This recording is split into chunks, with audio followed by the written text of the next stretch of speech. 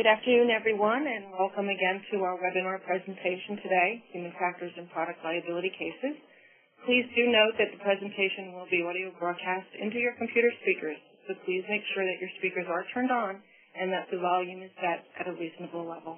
We will be starting very shortly and promptly at 2 o'clock, and again, thank you for attending our presentation today.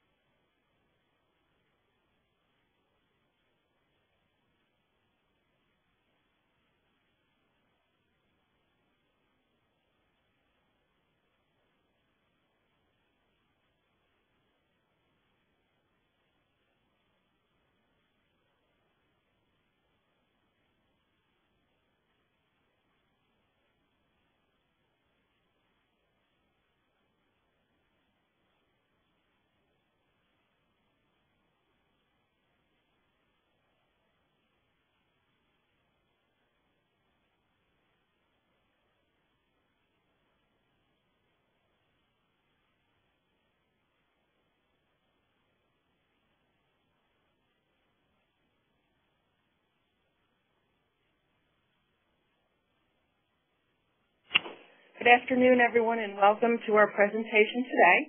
Uh, I want to thank everyone for joining us and uh, for our presentation of human factors, product liability, and to error is human. Um, our presenter today is Mr. Will Nelson. Mr. Nelson has over 30 years of experience in ergonomics, biomechanics, and human factors. His, his expertise in areas of specialization include product liability, personal injury, premises liability, and accident reconstruction. Of particular interest to Mr. Nelson are the emerging research in the are, the are the emerging researches in the areas of driver distraction, sports injuries, and medical errors, and how to help prevent injuries. Today's webinar is designed to discuss how human factors can impact on human error, discuss human factors models, and the effect of human factors and product liability. It will address what human factors is and the study of the interrelationships between humans, the tools they use, and the environment in which they live. We will discuss how these interrelationships affect product liability issues such as design, engineering, manufacturing, maintenance, instructions, and warnings, and intended and foreseeable use and misuse. If you have any questions today, uh, Will welcomes your questions, and we would ask that you use the chat feature, which is located to the right of your screen. And we will be taking intermittent change, uh, intermittent breaks, excuse me, during the presentation so that he can respond to you. Tomorrow morning, I will send out an email with a link to an archived recording of the webinar and a link to the PowerPoint presentation. So please look for those in your inboxes. Also, before leaving the presentation today, I ask that you take the time to fill out the survey that will appear on your screen after today's program. And let me remind you that if you are applying for CLE credit, please complete the survey at the end of the presentation. I will now be turning the, the program over to our dis distinguished presenter, Mr. Will Nelson. Will, the program is now yours. Thank you, Carol. Uh, appreciate this opportunity to present today.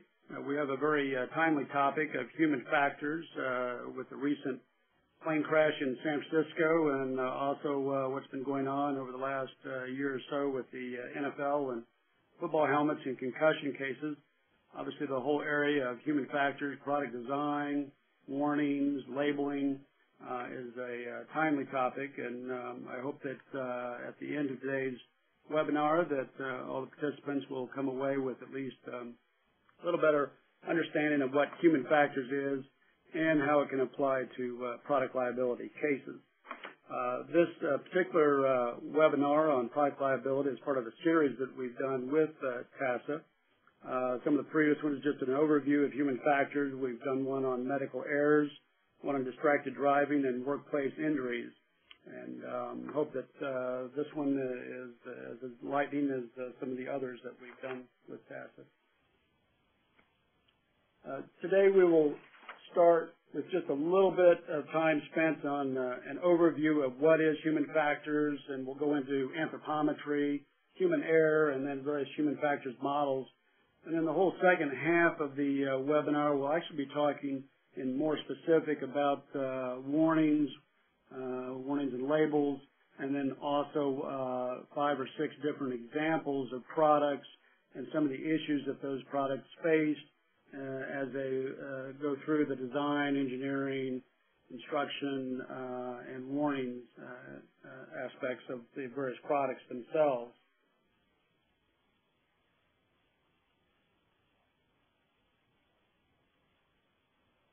Examples that we will talk about include uh, a nail gun, trampoline, kitchen knife, table saw, fire extinguisher cabinet, uh, and then helmet.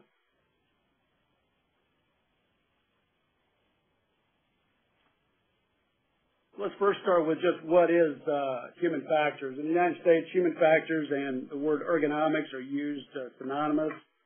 Uh, ergo uh, means work, and uh, nomus means rules or laws. So basically, what we're looking at is how people work, what they do, whether that's in a workplace or whether it's uh, an athlete and what that person is is doing, uh, or uh, a consumer and the product they're using, or a professional and the various tools or equipment that they're working with. it has a long history. Actually uh, goes all the way back. It was mentioned in the 1700s, uh, Ramazzini, and then uh, in the United States it really became popular or became in, much greater use during World War II and then in the Vietnam War.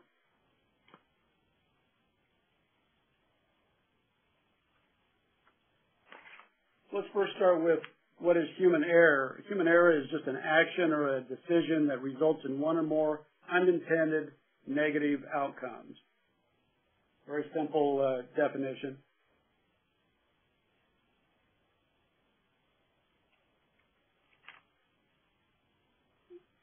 Generally, the simpler the task and the less number of people involved, the less likelihood of an error to occur.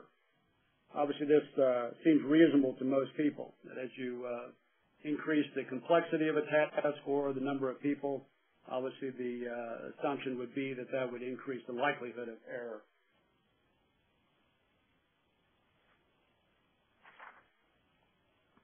Let's talk briefly about what machines are, good at, and then we'll talk uh, uh, about what humans are good at.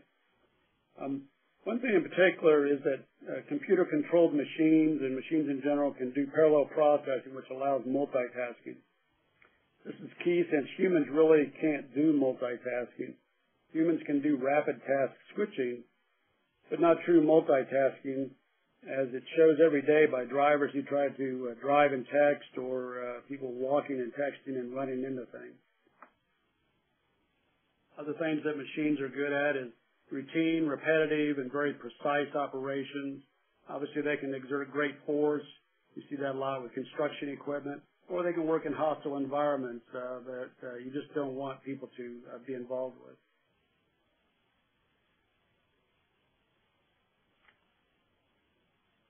There are many things that humans are good at. Um, we are hearing uh, a lot about the emerging area uh, with the NSA and connecting the dots using artificial intelligence. Uh, while robotics and intelligent systems are uh, challenging some of the basic fundamentals that uh, of what people are good at, uh, still at the end of the day, when you get involved with uh, all the data that is gathered and the analysis that is done, it usually is people who make the final de- determination and decision, uh, which is listed here as the ability to exercise judgment where events cannot be completely defined, or to perceive the patterns and making generalizations about those patterns. And obviously, as technology uh, advances, uh, it blurs the line of what machines are good at versus what humans are good at. Uh, but even at the end of the day, all the programming that goes into those computers is, is done by humans. So the computers that control the machines or the products that are made. Uh, at the end of the day, it still requires input from humans at some level or at some stage of the process.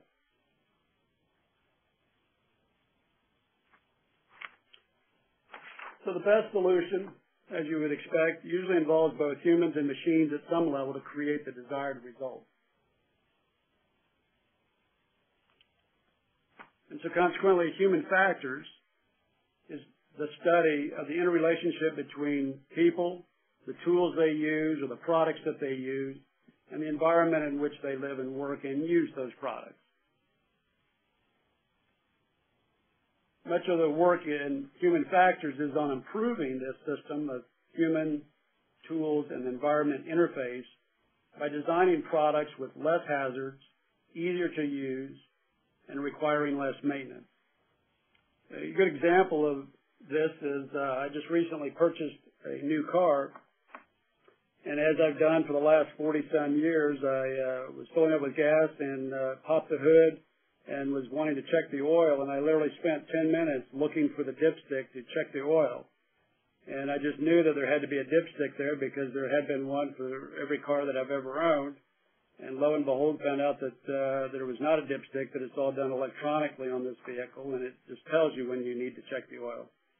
So uh, looking at that from a uh, interface of a person and the, the product, the vehicle, and the environment of driving, uh, one can very quickly see that by eliminating the need for the consumer to have to open the hood of the car, you have engineered out a problem uh, or hazards of exposing the person to one is the uh, toxicity of the oil itself, the possibility of getting uh, cut by or trapped by a moving part, whether it's a fan or a belt, or being burned by the, the heat of the engine.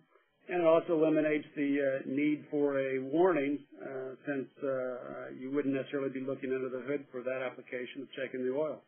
And we'll talk a little bit more about this uh, uh, in some future slides in more detail.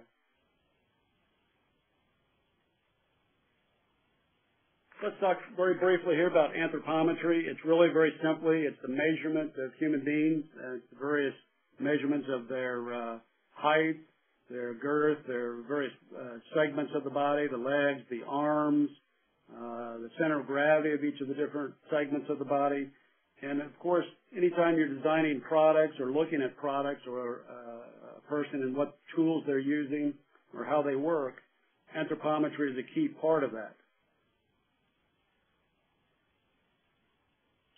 Considerations when you look at uh, anthropometry and making decisions on a product and, how it's designed or engineered have to take into consideration the person's clothing that they will be wearing uh, at the time of the use of that product, uh, whether those are gloves or shoes, whether they have wearing a helmet. And then you also have to look at what type of design or engineering criteria do you need to design around. And for example, do you design for the very minimum, meaning the one percentile of the population, or do you design all the way to the other extreme for the 99th percentile? Uh, to give some examples uh, of designing for the minimum, or basically the uh, smallest or shortest people, uh, would be, let's say, a push buttons uh, for the floor inside of an elevator. You, obviously, if uh, a person in a wheelchair can access those buttons, then a person standing up without too much trouble or difficulty can bend over and reach those same buttons. An example of designing for the maximum or the tallest would be uh, opening the height of the door frame, because obviously if a very tall person can get through that door frame, then the short person can also get through that door frame. Example of designing for the average would be a checkout counter at a grocery store. Uh, obviously, uh, it's going to be low for some people, but high for some others. But in general, it, it reaches a good broad section of people being able to reach the uh, the counter and put the groceries on the, uh, the uh, belt in order for to be checked out. And an example of designing for the range of extremes would be uh, an office chair that is designed to go up and down and has a lot of uh, variety of uh, positions, or even the seat in a vehicle that uh, goes forward and back, up and down, has lumbar support, and the uh, seat back itself goes back and, uh, and forth. Uh, so that gives some examples of how you can design and that becomes critical in the design and engineering phase of, again, who you're designing for, and we'll talk about that in just a little bit too.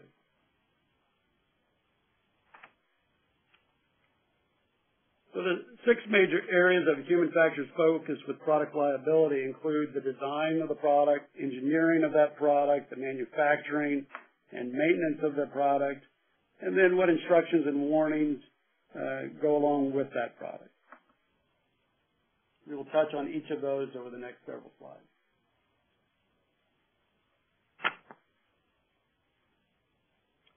OSHA requires a hazard control hierarchy from the most preferred to the least preferred in dealing with a hazard. Now, while OSHA does not generally get involved with products specifically, since they're focused on workplace safety, but the same hierarchy is applicable to products themselves. And the example uh, that I gave earlier about uh, the car without the uh, oil dipstick, uh, again, is a perfect example of how during the engineering and design process they engineered out the hazard by taking away the need for the consumer to get under the hood of a car and check the oil. Uh, so obviously engineering out the hazard is the preferred way.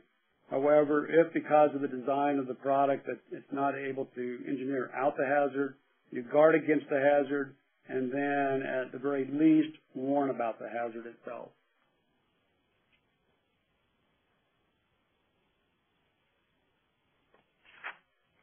Let's talk about the uh, design element.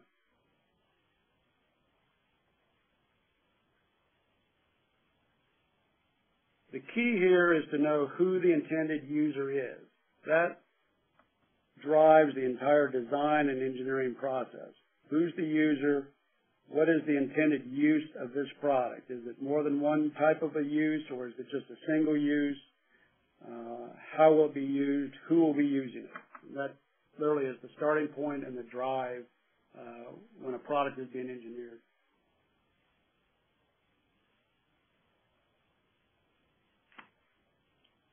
Engineering is where the rubber meets the road. This is where the product specifications are developed, which drive the cost uh, and the production. What may appear as a small decision during this phase can lead to disastrous results down the road. Examples of this are everywhere. When you look at the safety recall of products that you see, mainly vehicles, but even consumer products, uh, you see premature product failures in the marketplace all the time. Uh, usually starts in the engineering area where you get involved with looking at the trade-offs and the balance between the cost of the item uh, and all the other trade-offs that take place in the of what materials to use, how that product is intended to be used, as well as um, uh, looking at how that product could be misused or can somebody use it for something that it was not initially intended for. Uh, that also should be taken into consideration at this stage. Obviously, looking at uh, any standards, codes, or regulations is important during this phase.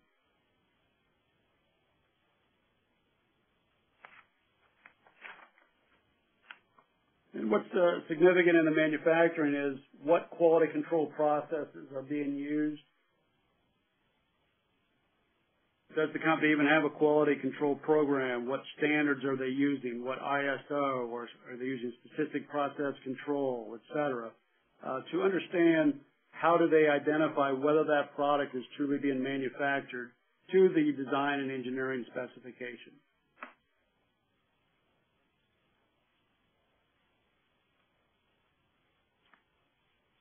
Maintenance is usually an afterthought which can lead to the exposure of many hazards not only to the user of the product, but the person who has to maintain that product.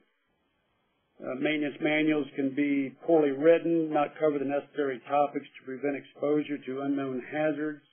Unknown hazard meaning unknown to the person who's maintaining it, but hazards that should be known to the manufacturer of the product uh, and should be disclosed and explained, uh, and again, either engineered out, guarded against, or warned about in the appropriate manner.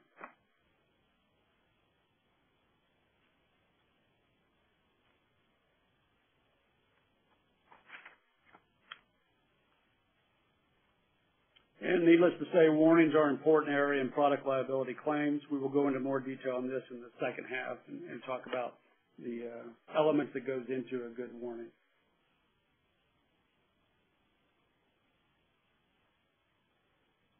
Common sense. We hear this quite a bit. Uh, common sense.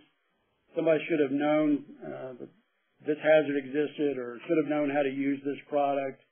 Uh, the complexity of the world today as uh, technology advances and as the world becomes uh, smaller and we travel more, common sense never did really exist. It definitely doesn't exist today. Our society is too complex with multi-ethnic, multicultural, multiracial diversity backgrounds, brings different knowledge, understanding, and expectations to a product. This again gets back to what I'd mentioned at the very start who is that product designed for and for what purpose? And that drives uh, everything relative to the uh, design of the product, engineering, the manufacturing process. Starts right there.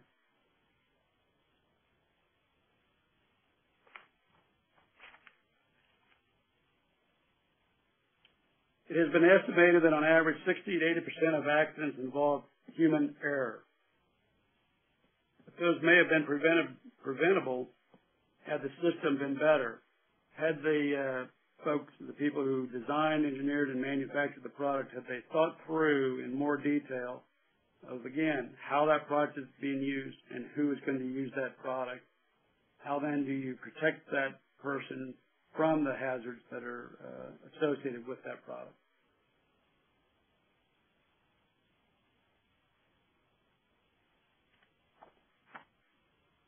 law of unintended consequences. the key here that I wanted to uh, point out has to do with new technology. Again, having to do with the rapid emergence of new technology in our society.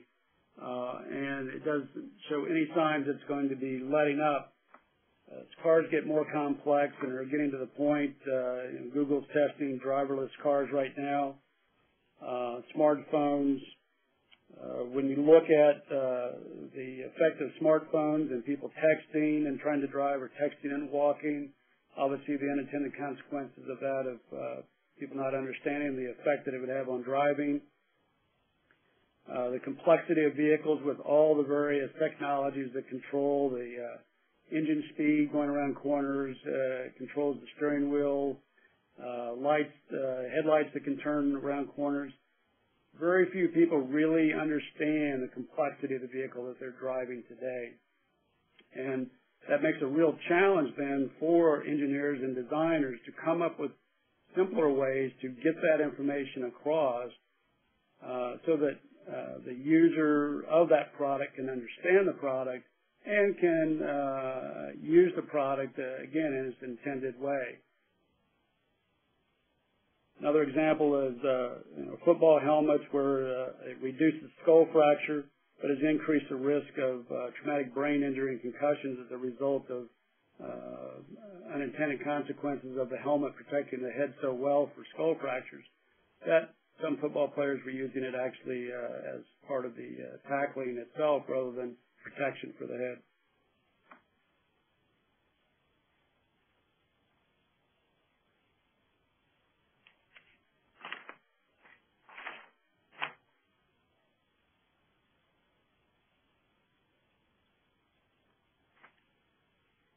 We talked about that. Let's talk about a little bit about the types of human error and the causes of those. Um, two types that uh, you may hear about or have heard about is active errors and latent errors. Active errors are occur at the level of the operator and their effects are felt almost immediately. Where latent errors tend to be removed from the direct control of the operator. They could be uh, hazards that are latent within the product itself, that product has been used by many, many people and has never had a problem, and then all of a sudden uh, somebody gets hurt by that product. That just because that uh, error or that hazard that resulted in the error or the incident uh, has not affected people for many, many years does not mean that that hazard doesn't exist and that that hazard should have either been uh, engineered out, guarded against, or warned about with that product. And generally, latent errors are a result of poor design, faulty maintenance, uh, or um, you know, if you get in looking at the organization itself as opposed to the product specific, you could see bad management decisions or poorly structured organizations for accountability and responsibility in decision making.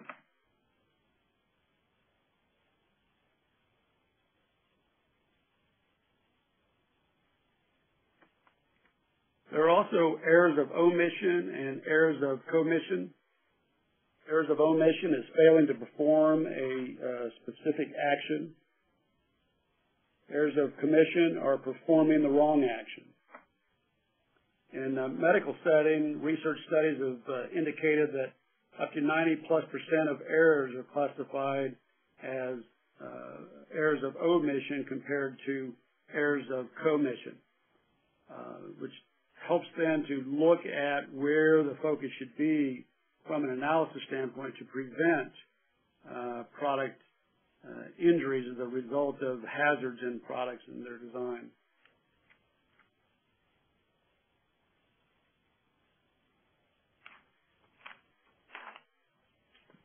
So the basic purpose of a human factors analysis is not to find where people went wrong, but is to understand why their assessments and actions made sense at the time. what you find is when you uh, when one goes in and talks to people about what happened and what they were doing, in their minds at the time, it made sense for the actions that they took uh, relative to either hazards that they didn't know about or hazards that they may have known about that did not appreciate the uh, the level of risk or the type of hazard and the effects and consequences of uh, that hazard, uh, exposing themselves to that hazard. So the view of human factors analysis is to avoid judging people. It wants to go beyond saying what people should have noticed or could have done. Instead, the view is to try to explain why that incident happened and then try to understand uh, its causes and how it could have been prevented either in the future or could have been prevented uh, early on in the design and engineering phase of that product.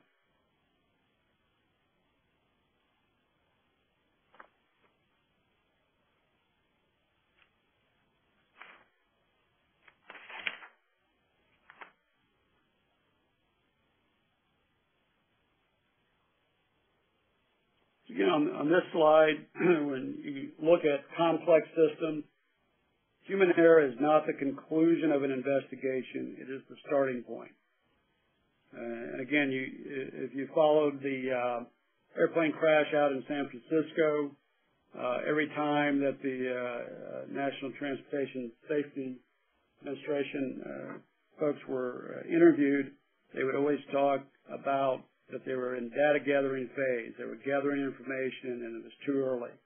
They really want to, they know what happened. Now they're trying to understand what, uh, why it occurred and how it could have been prevented for the future. And that takes time.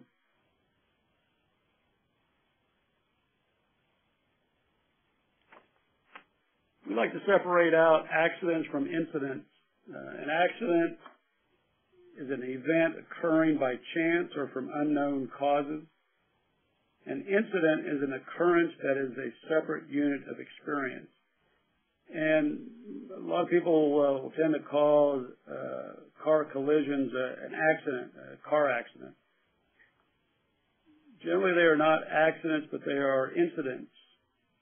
There's nothing accidental about it. There is a cause, and uh, whether it's a human error, whether it's a product failure, product design, somewhere in that system uh, between the person, the use of that product, and the end result, an error occurred and an incident uh, occurred, and there is an explanation of why that incident occurred.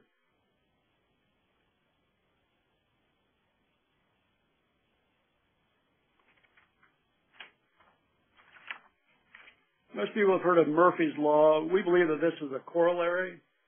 What can go wrong usually goes right, but then we draw the wrong conclusion. Again, it kind of gets back to hazards uh, that people are uh, exposed to all the time. And hundreds of thousands or millions of people can be exposed to that hazard and nothing happens.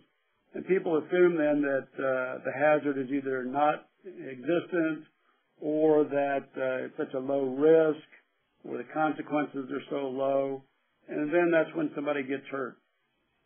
That doesn't mean that the hazard wasn't there. It just means that the right situation did not occur for that hazard to uh, uh, cause a, an incident. And again, uh, it's going to be real interesting to see with the um, airplane crash in San Francisco exactly what the uh, results of the human factors analysis will say on that flight. whether it had to do with pilot error, or whether it had to do with uh, the control system, or just what, uh, uh, or a combination of the two um, that brought that plane in uh, too low.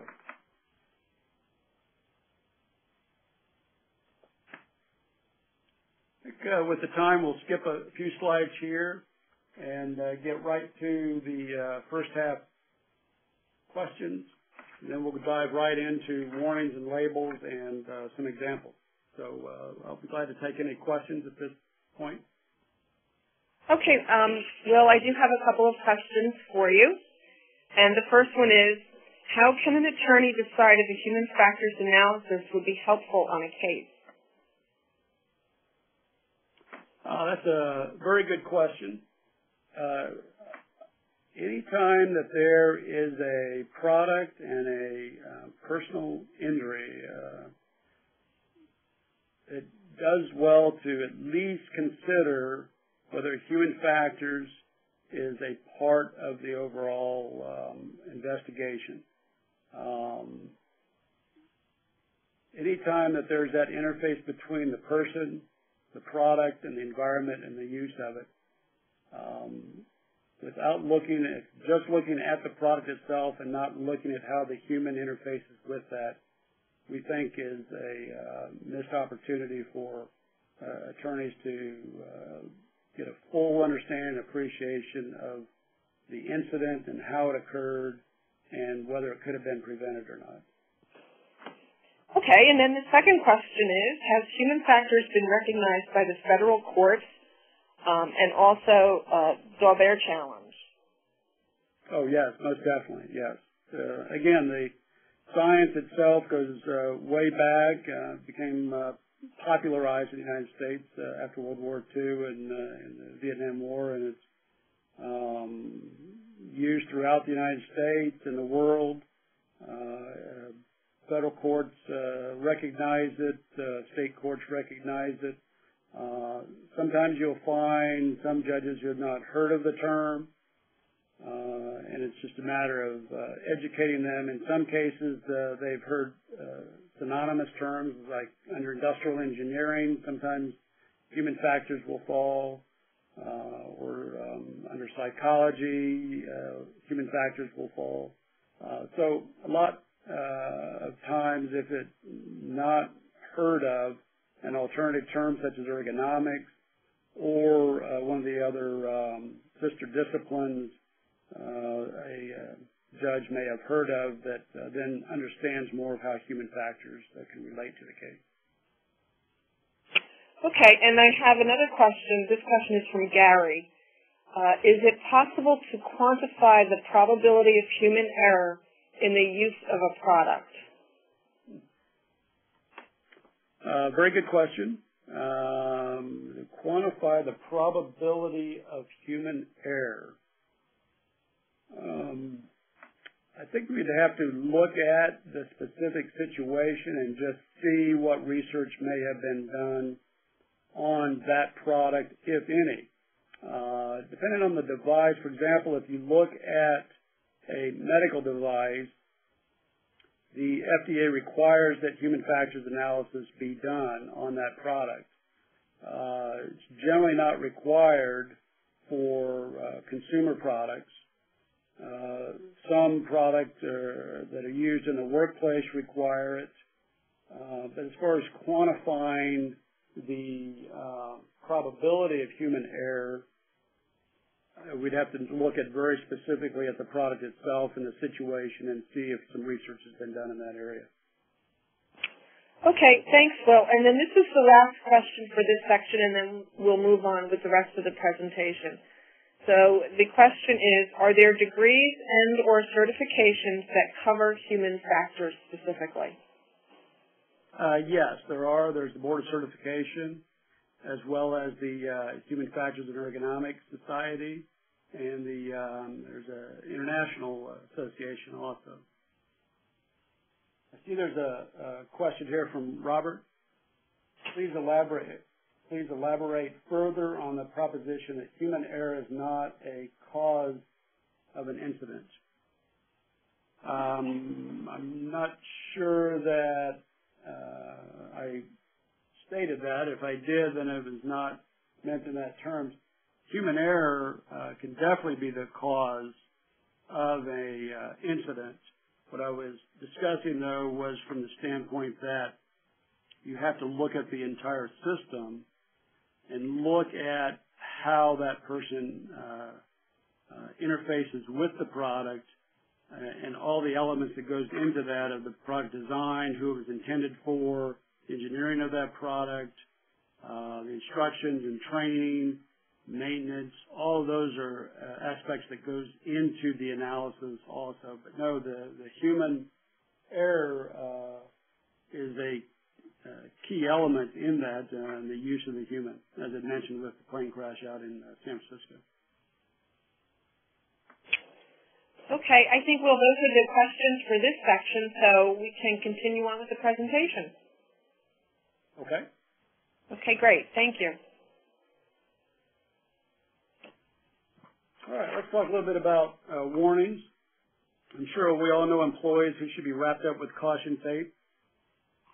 Seems like there's uh, some people that uh, are just uh, prone to injury and there's research been done in that area and um, discusses a little bit about types of people who are more prone to injury than others, but that's not the, purpose of this presentation. I just thought it made a good slide for somebody inside of an elevator to protect them from getting hurt. All right, so Safety communications is used to inform people about hazards so that undesirable consequences are avoided or minimized.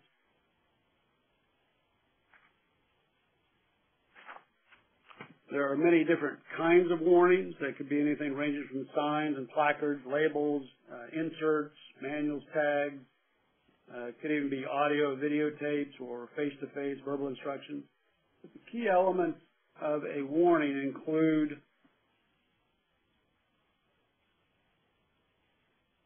the hazard level. In this case, it's actually a warning as opposed to uh, hazard, as opposed to a caution or a danger. Identify what the uh, hazard is.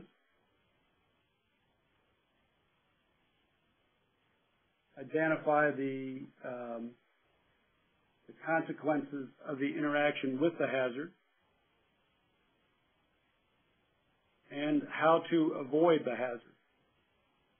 And then on the other side, we have a graphic symbol of the consequences of uh, interacting with the hazard also.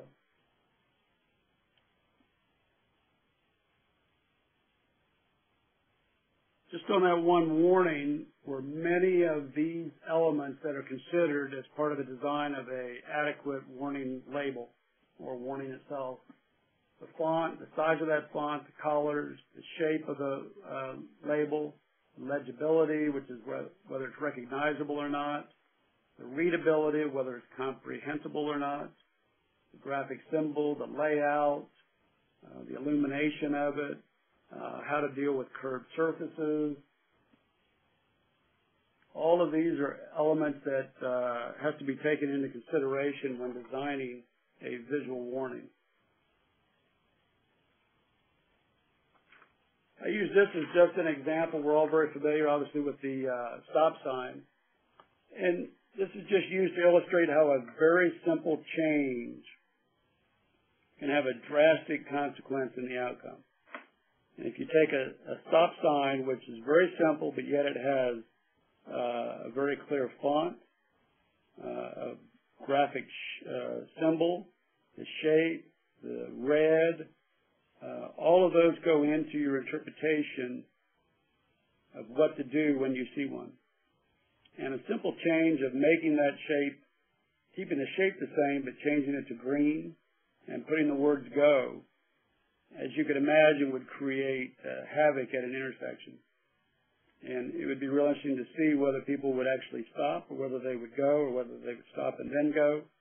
Uh, just by making a little change, but it goes to show how a simple change can create vast confusion.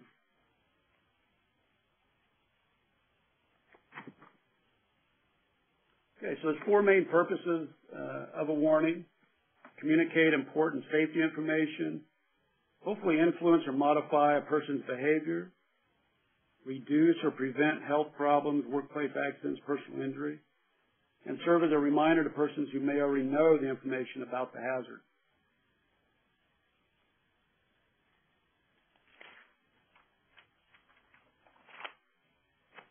Let's talk about uh, some examples here. Uh, these examples are uh, just literally uh, some learning examples. I'm not uh, talking about any specific case or situation.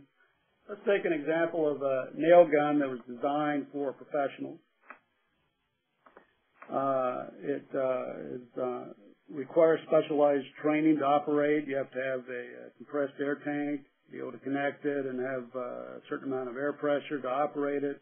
Take special type of nails that uh, um, go into it. And the size of the nail gun ranges anywhere from a small finishing nail, roofing nails, framing nails. And as you can imagine, framing nails would take a lot of, a lot bigger nail gun and also a lot more air pressure to operate properly. Let's talk about a roofing situation where the nail gun is used in uh, what is called a bump process, where basically you keep your finger on the trigger, and every time the tip of the nail gun contacts the, the roofing surface, a nail is fired. Obviously, this could uh, makes it easier to uh, operate because you don't have to pull the trigger every time. And if you're working on the roof, Uh, the specific location of the nail is not near as important as it is in a finishing nail. And so uh, a worker could very quickly get that uh, the nail uh, be very efficient and very productive in using the nail gun and contacting the surface. So let's discuss a little bit about what happens though when you take that type of a nail gun and put that in the hands of a consumer. We're all familiar over the last 20 years with the uh, increase in the number of Lowe's and Home Depots around the country. And nail guns are marketed to not only professionals but also uh, to consumers. There's nothing to uh, prevent anybody from basically going and buying a nail gun. And you take that same nail gun, you put it in the hands of a consumer uh, who says, "Yeah, I think I could, uh, you know, use this." But really doesn't have much knowledge uh, on the use of the product or understanding of how it operates. And they're in the process of using it. Uh, they've uh, put a nail in. They've left their finger on the trigger, and they turn around when uh, they get startled by either their son or somebody uh, comes up next to them. They turn around and accidentally the nail gun fires and puts a nail into somebody. Well, this is a situation where, as I mentioned at the very start, where you have to look at the nail gun and who it was intended for. At the very start, it was really intended for a professional, somebody who's trained, somebody who appreciates its danger and its hazard.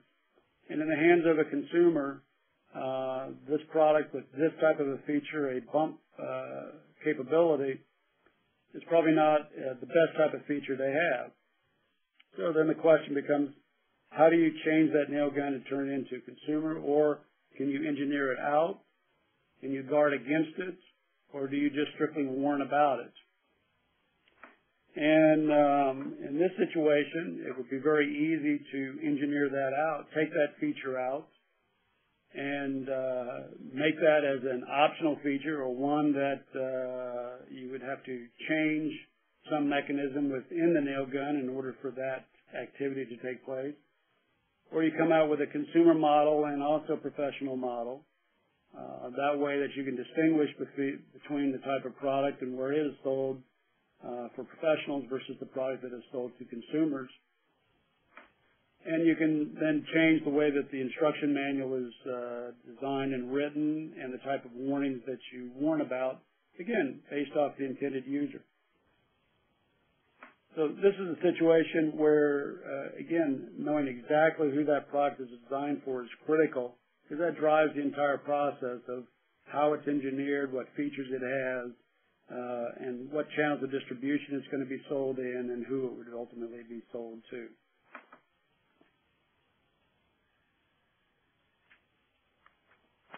All right, now this uh, a little different example of a table saw because the inherent nature of the table saw is to cut.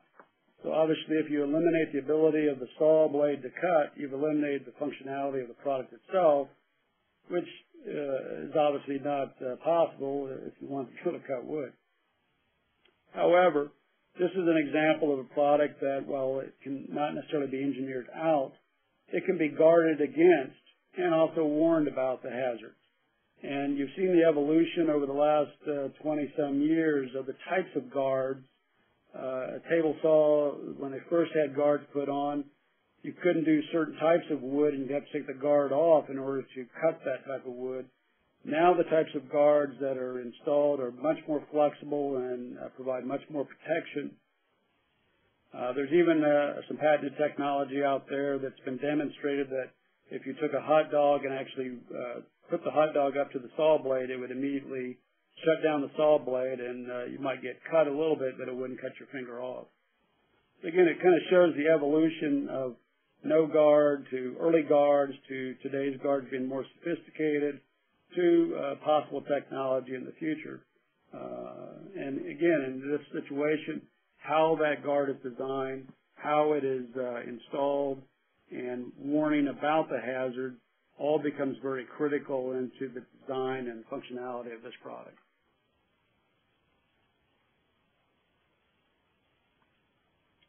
And this product, which is a uh, cabinet for a fire extinguisher.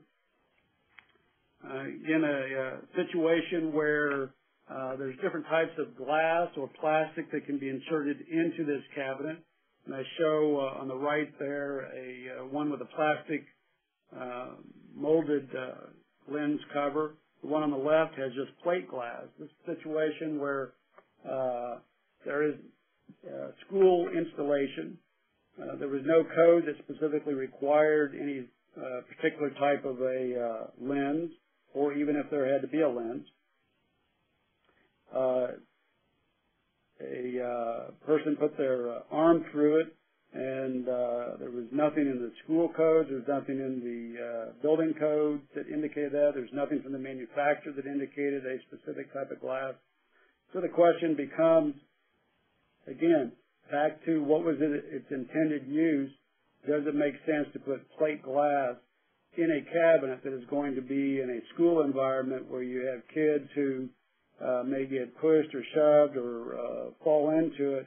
Uh, does it make sense, regardless of what the codes and regulations and standards would be, for this application, for this product to not have either plastic or tempered glass or a much smaller opening to be able to see that there, yes, is a fire extinguisher, but does it need to be glass all the way? So this is the appropriate use of a product for a specific application. Uh, and it, again, would not make sense to warn about it with a label because it still would be plate glass. How do you guard against it? Well, I guess you could uh, cover the glass up mainly and only have a very little bit exposed. But the real answer in this situation, again, is to engineer out the problem by going to either a plastic or minimizing the size of the opening so that you can still see the fire extinguisher, but you basically protected it from somebody getting injured.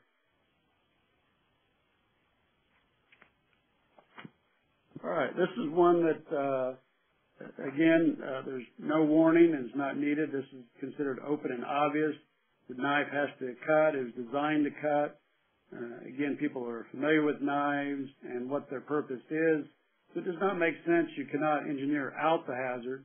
Uh, you can guard against it as far as where you store your knives, uh, but you can't really, it doesn't make sense that you'd have to warn about the sharp edge of a knife in this situation. All right, this is an example. Is it possible to make a trampoline really acceptable from a risk standpoint? Again, um, obviously the manufacturer thinks that it is. They've come up with nets that are around it and warning signs that go on it. Uh, but the question is, is that uh, when you look at the injuries from the Consumer Product Safety Commission, most of the net, most of the injuries that occur are still on the trampoline and not falling off of the trampoline. So if you have a net, it may prevent somebody from falling off the trampoline, but that still doesn't uh, eliminate the injuries associated with jumping on the trampoline itself and landing on your neck and uh, resulting in neck injury. So the question becomes, is this a product that uh, should be on the market? Uh, is there a way to make it safer? Uh, some of the physician groups have come out and actually said that the product uh, should not even be on the market itself. Uh, is it acceptable to warn about it uh, when the primary use is by children as opposed to adults? Is it reasonable to expect that an adult would provide supervision to a child while they're playing on the trampoline? Is it expected that only one person at a time would be using the trampoline when reality is that uh, it seems like more than one uh, child at a time gets up there because that makes it more fun.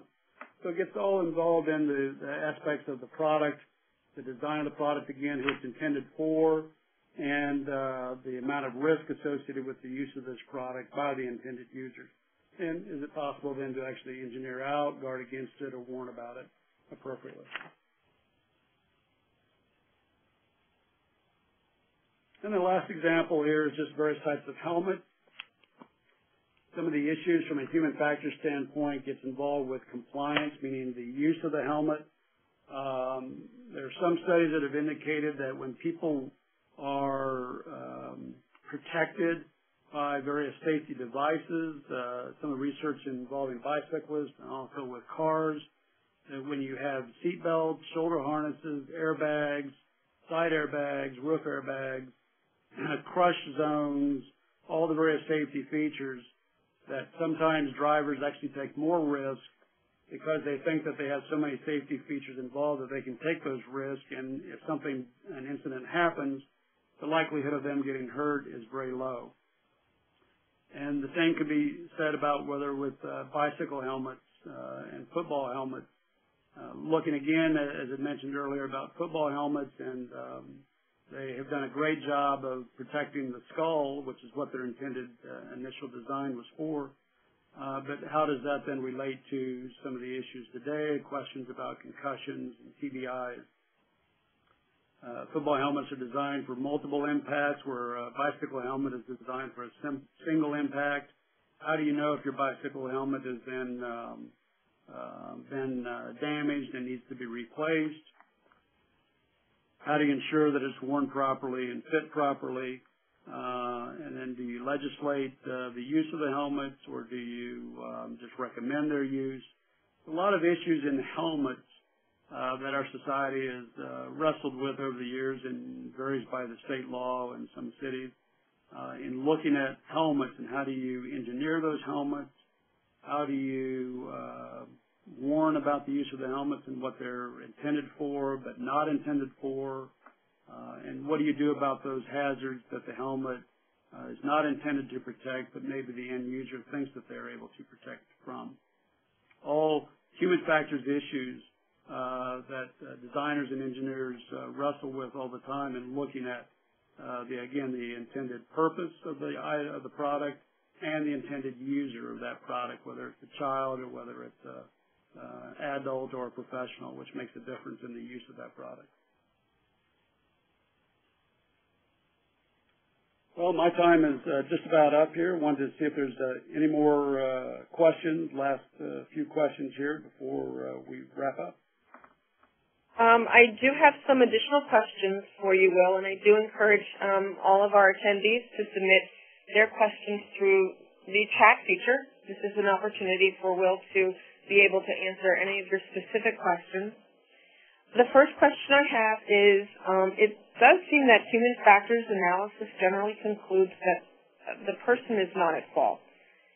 Does a human factors analysis ever conclude that the product was properly designed, the instructions were clear, and the proper warnings were included? Oh yes, most definitely. Uh, yes, there. Uh, um, tends to be uh, kind of a perception that uh, whenever human factors uh, professionals analyze a situation, that it's never the person's fault, uh, and that's just simply not not the case.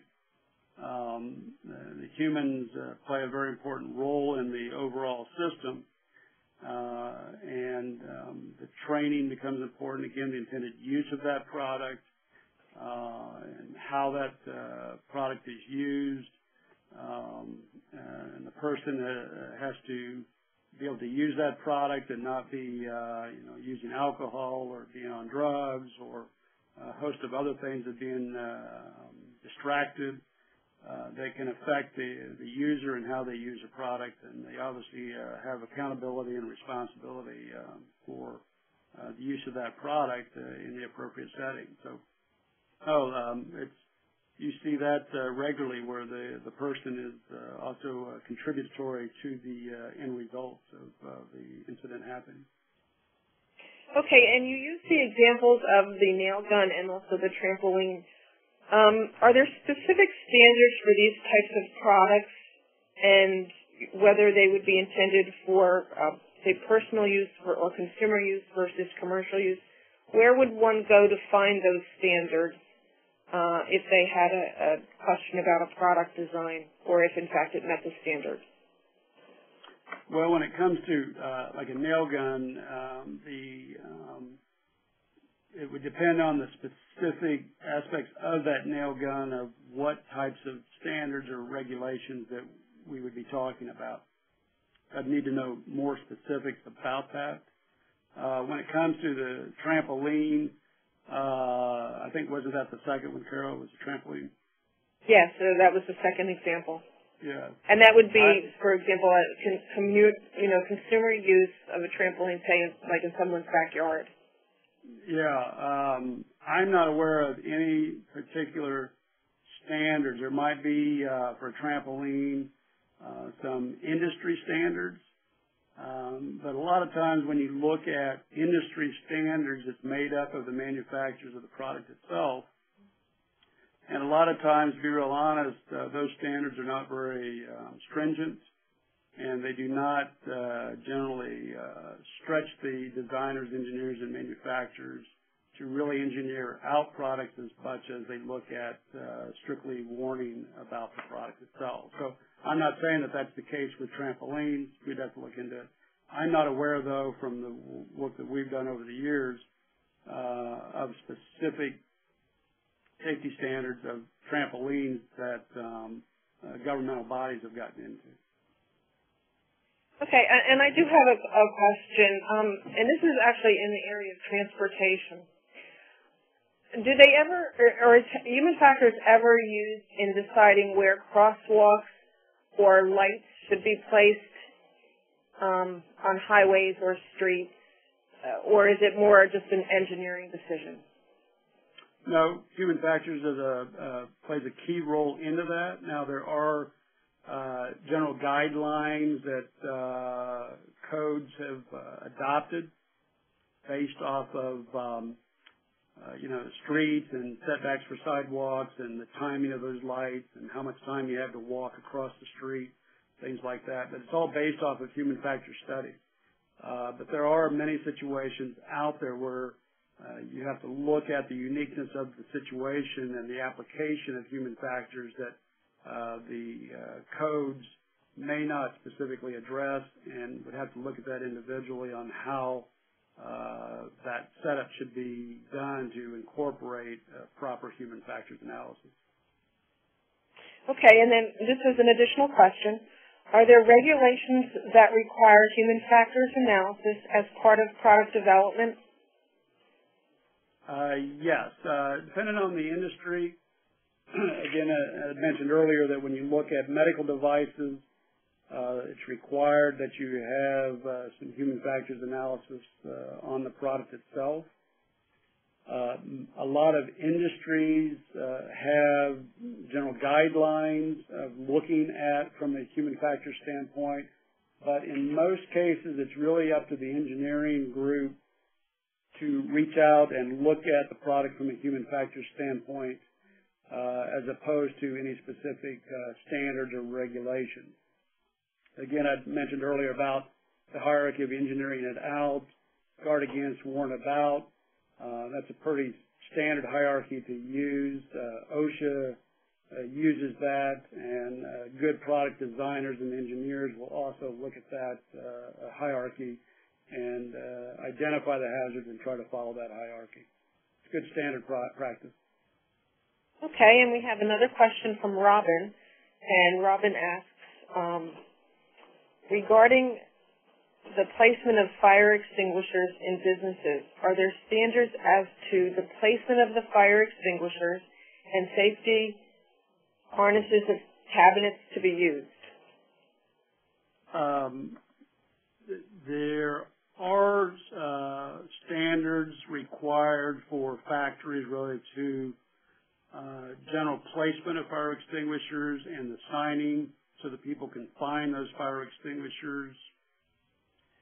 Uh, the codes tend to be very uh, varied as far as cabinets and the type of enclosure and if any protection is required of that fire extinguisher.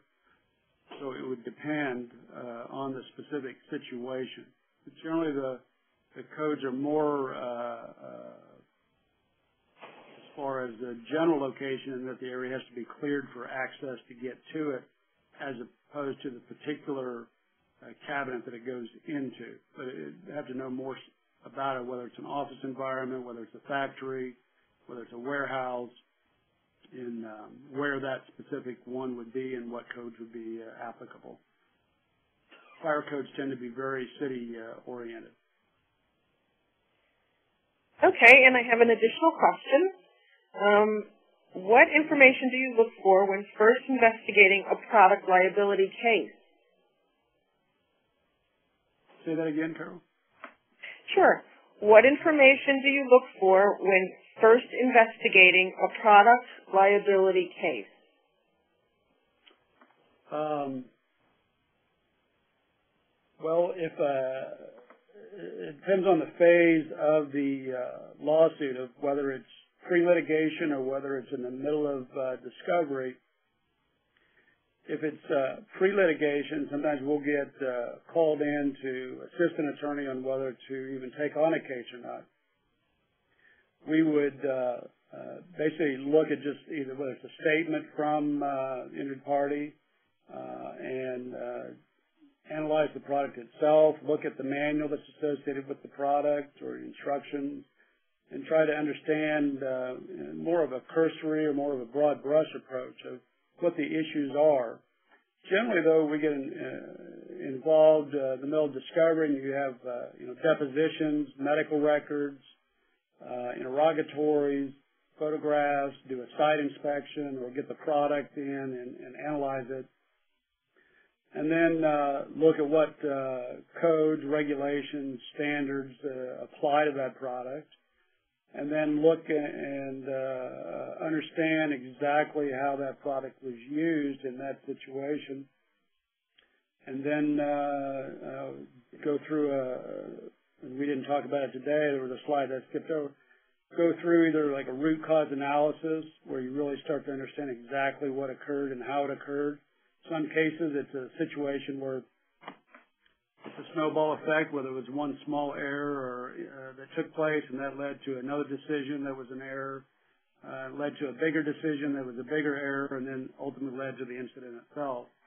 Um, so uh, we uh, look at a variety of the documents and photographs, and the product itself, though, is very important to have so that we can see if the product itself is been maintained properly or is defective in some form or fashion, um, as well as, uh, again, the testimony of the user or witnesses of what happened, uh, and um, so we can look at that system of the person, the product, and the environment that it was used and uh, determine the causes of the incident. Okay, thank you very much. Well, that seems to be the end of our questions uh, for today, and um, I want to thank you very much for your time and your effort in this presentation. Uh, we will be, uh, as I said earlier, we will uh, be sending a link with the presentation to all of the attendees, and um, if you want to reach or get in touch with Will, you can certainly give TASA a call here uh, at 1-800-523-2319 for those of you um, who are looking for CLE uh, um, certification, please again be sure to complete the survey at the end of the presentation. This webinar is eligible for CLE credit in Illinois, New Jersey, Missouri, and Texas, and it is also pending approval in Minnesota. Again, I thank you very much uh, for attending. And just as uh, in our closing, I'd like to um, make all of you aware that we do also now offer um, research reports on expert witnesses and also e-discovery and document management solutions for those who might have any interest. Again, thank you again for attending and um, have a great day.